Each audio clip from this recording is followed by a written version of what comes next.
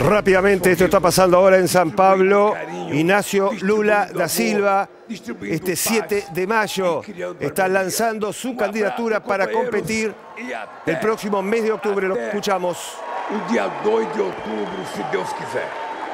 Eu tenho certeza que nós precisamos muito.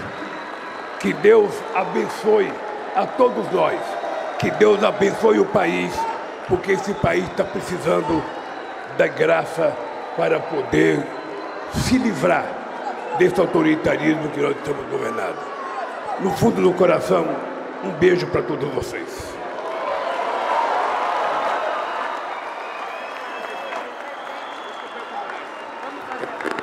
Bueno, allí está eh, lo que habíamos anunciado. Esto está pasando ahora en la ciudad de San Pablo, este multitudinario acto, el lanzamiento justamente a la candidatura presidente del exmandatario del vecino país, Ignacio Lula da Silva, elecciones que se llevarán a cabo el 2 de octubre, una elección clave, claro, en un país vecino. A ver, Leticia, Augusto, Alejandra, estamos frente a lo que ya habíamos adelantado hace una semana atrás.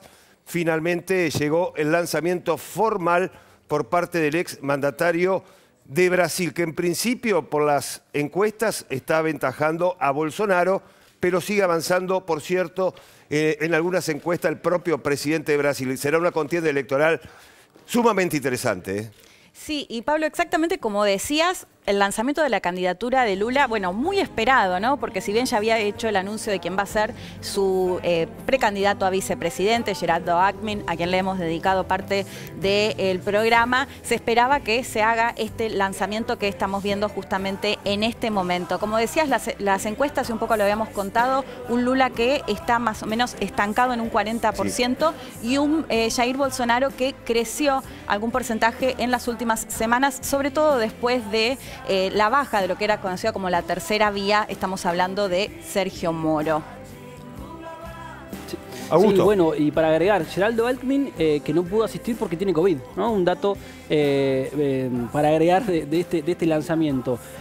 Bolsonaro está recuperando terreno en las encuestas, como, como decía Leticia el Partido de los Trabajadores tuvo que dar una serie de cambios eh, para, eh, sobre todo, la comunicación de la campaña. Hay un nuevo jefe de campaña, Edinio Silva, que es un eh, alcalde muy importante de una ciudad paulista, Arucará se llama.